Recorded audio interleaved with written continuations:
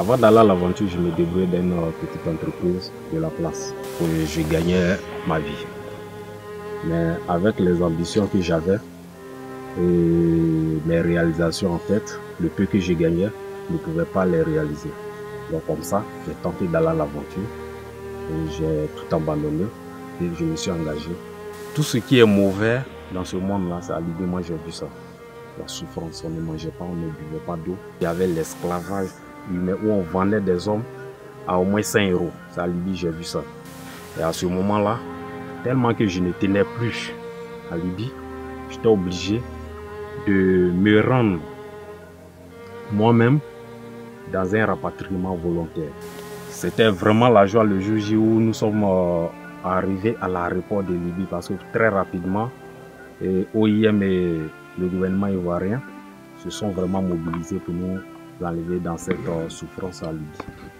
Donc quand nous sommes arrivés euh, en Côte d'Ivoire, OIM encore se sont occupés puisqu'ils ne nous ont pas laissé tomber à ce moment-là.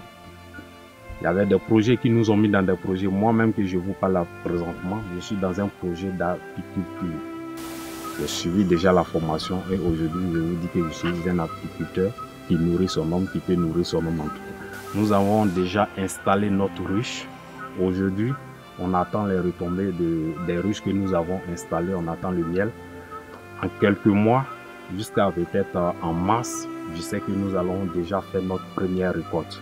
Aujourd'hui, on remercie OIM pour tout l'effort qu'ils font pour nous. Et ce projet aussi, jusqu'à présent, ils ne nous ont pas laissé tomber. Jusque-là, on s'occupe toujours de nous par rapport euh, au projet d'apiculteur.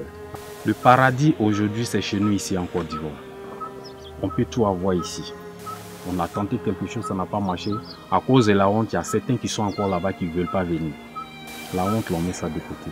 Comme on le dit en Côte d'Ivoire ici. Venez, on va se chercher ici.